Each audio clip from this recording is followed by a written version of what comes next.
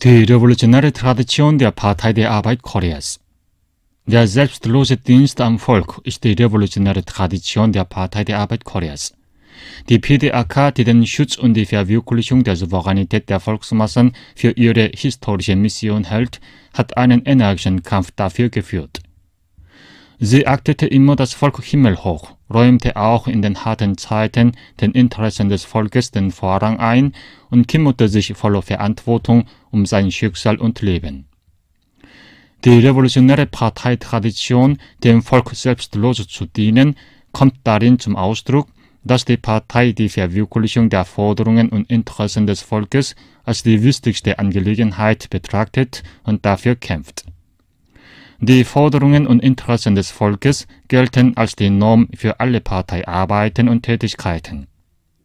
Während des langen revolutionären Kampfes setzte die PDAK die Idee, das Volk als das Höchste zu betrachten, durch und richtete immer auf die Arbeiten für das Volk ihr Hauptaugenmerk und erlaubte keinesfalls die Sachen, die die Interessen des Volkes verletzen.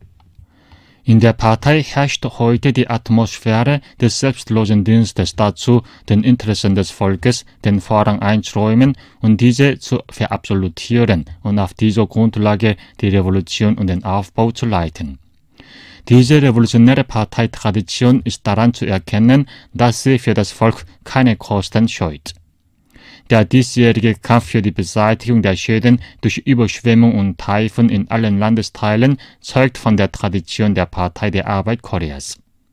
Unter der Leitung der PDAK, die das Unglück des Volkes als das größte Leid betrachtet und für dessen Beseitigung alles einsetzt, wurden die Katastrophengebiete in die herrlichen sozialistischen Dörfer verwandelt.